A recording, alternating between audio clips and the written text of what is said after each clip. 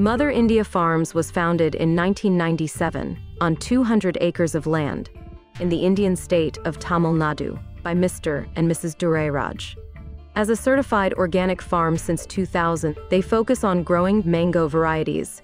Tamil Nadu faces significant challenges regarding water availability, mainly due to over-extraction of groundwater and inconsistent monsoon patterns.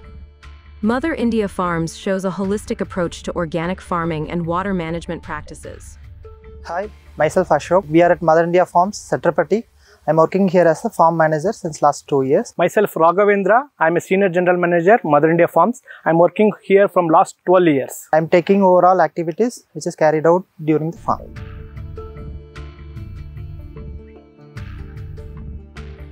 During the summer season, which starts from December, uh, we are uh, giving watering for the tree. For that, we have made an inline drip irrigation system through PVC pipeline. So for that, we will make a ring-like basin. Within that basin, we will do a watering when it is required based on 20 days of interval or 15 days of interval. During rainy season, in case if we have a round basin with depth, it absorbs the more maximum water during rainy season. So that will be uh, easy and whatever the water flow during the overall in the overall field that will enter into that ring then the force of the water will slow down and absorption capacity is more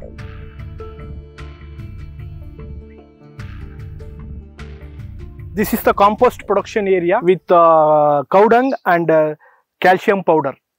By layer by layer, we'll uh, make it the compost and after mature, it will take around uh, 4 to 5 months for maturity and it's almost it's uh, um, matured.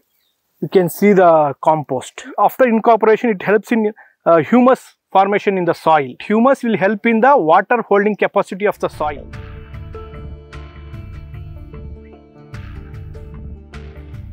This is a green manure crop which is called horse gram. It helps uh, control the around 3 to 4 times of plowing as well as weeding and water holding capacity. It increases the soil.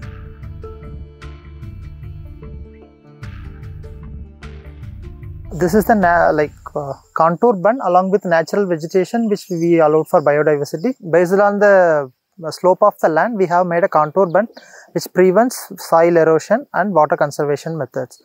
So in this uh, water from the top area which comes over to this and it will stop through this bund and this bund longs up to around 500 meters till uh, last end of our uh, land.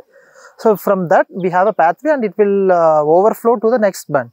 So from this like this we have around uh, 7 to 8 type of steps and finally it reaches to the pond which we have made in near to the well.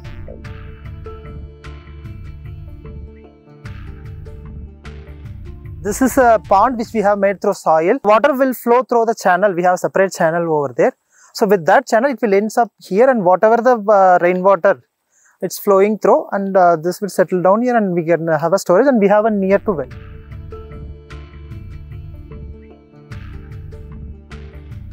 This is a water storage tank which uh, capacity around 3 lakh liters and we have made a rooftop which used to collect rainwater like uh, we have made a, made a pipeline system to collect rainwater uh, which during rainy season. If we don't have this type of setup, actually we belongs to only well.